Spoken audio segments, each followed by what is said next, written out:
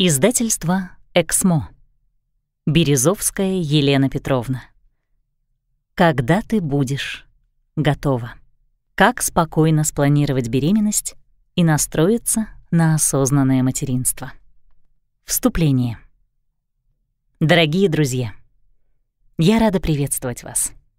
Вы слушаете мою новую аудиокнигу, посвященную подготовке к беременности и планированию семьи.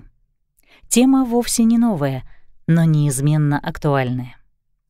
У этой книги многолетняя предыстория. Десять лет назад я начала писать о женском здоровье. Каждый день женщины задавали мне много вопросов о том, как подготовиться к беременности, выносить ребенка без проблем, о необходимости тщательного обследования перед началом попыток зачать ребенка, необходимости обследования мужчины — Тогда я решила объединить эти и многие вопросы в одной книге. И это мне удалось. Эта книга стала первой и единственной во всем мире книгой с содержанием, покрывающим все основные аспекты планирования семьи и зачатия ребенка.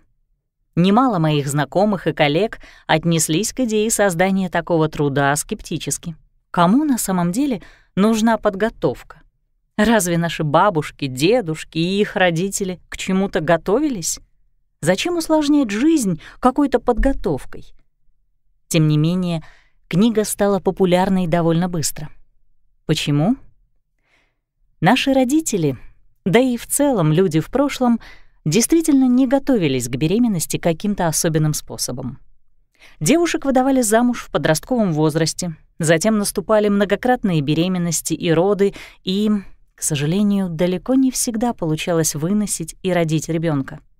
Нередко из 10-14 беременностей живыми дети рождались в двух-четырех случаях.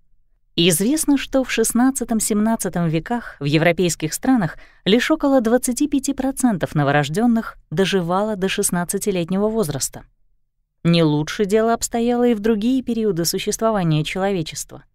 Население мира выжила только благодаря бесконечному размножению и неприемлемости контрацепции как регулярного метода контроля размера семьи. В прошлом для большинства вступивших в браки мужчин остро стоял вопрос сохранения наследства, социального статуса, титулов и передачи всего этого из поколения в поколение. Рождение сына ценилось выше, чем появление на свет дочери. Будущих жен, матерей наследника — обычно рассматривали через призму их физического здоровья. Традиция оценки репродуктивного здоровья невесты уходит корнями в глубокое прошлое. Так, в Древнем Риме родственники жениха направляли в дом невесты акушерку, которая должна была провести осмотр девушки и оценить ее потенциальные возможности родить детей. Еще одна древняя традиция, сохранившаяся до сих пор у некоторых народов Африки, касалась подготовки девушки к роли жены матери и хозяйки. Девочку 6-8 лет родители жениха забирали на время к себе. Будущая свекровь обучала ее тому, как ухаживать за детьми, вести хозяйство, готовить, стирать, убирать и даже ублажать будущего мужа. Это и была своеобразная подготовка к будущим беременностям и детям в семье. Современные женщины, особенно жительницы городов и развитых стран, не планируют большие семьи, выходят замуж в зрелом возрасте и рожают одного или нескольких детей. Интересно, что древние гречанки и римлянки в среднем жили до 25 лет, а сегодня женщины нередко доживают до 80.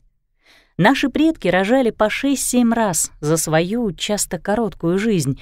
Бывало, первая беременность наступала уже в 12 лет. Но до совершеннолетия доживала только несколько детей — в некоторых африканских странах и по сей день наиболее высокие уровни рождаемости там, где средняя продолжительность жизни небольшая, плохая медицина и экономика. К 25-26 годам у многих женщин там уже по 5-7 детей. И это без всякой подготовки. Так в чем проблема?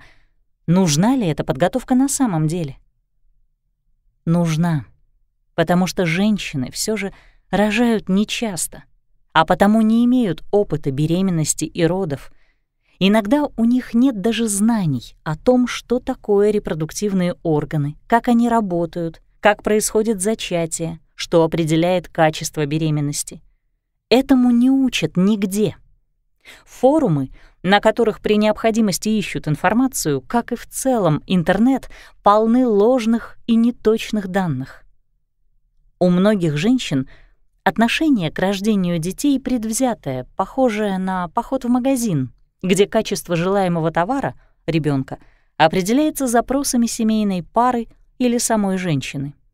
Исчезли многочисленные запреты, связанные с наличием определенных заболеваний, в прошлом несовместимых с вынашиванием и рождением малыша. В таких случаях подготовка к беременности особо желательна. Другими словами, можно привести немало аргументов в пользу подготовки к беременности. И одновременно важно понимать, что создание потомства право любого взрослого человека, данное ему природой. Это значит, что каждый сам решает, когда готов к размножению и хочет детей.